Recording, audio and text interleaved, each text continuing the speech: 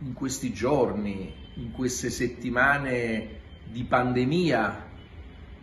purtroppo non sono state poche le persone, non sono state poche le trasmissioni, non sono stati pochi gli articoli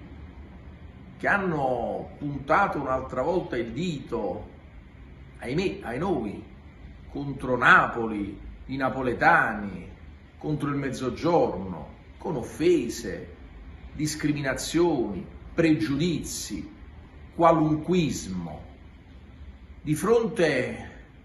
a questo ossigeno putrefatto, potremmo dire, che esce dai polmoni di pseudo intellettuali, mi viene un'immagine. Ricordo quando adolescente, più o meno potevo avere un 13-14 anni, mi recai in un negozio di musica, quindi parliamo di cultura. Di fronte a un attacco pseudoculturale provo a rispondere con la cultura e comprai un 33 giri che avevo ascoltato qualche canzone, mi piaceva molto, di un grande poeta napoletano, senza confini, morto qualche anno fa, Pino Daniele.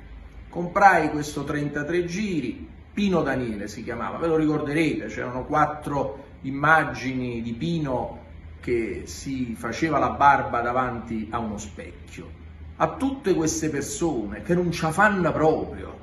è più forte di loro, ad, ad avercela contro Napoli e contro il Sud, dedico con l'affetto tipico dei nostri napoletani una canzone, I Soppaz, ma in particolare voglio loro dedicare la fine di quella canzone, che per me è poesia, è terra, è terra nostra, è terra mia, con l'orgoglio di sentirmi italiano.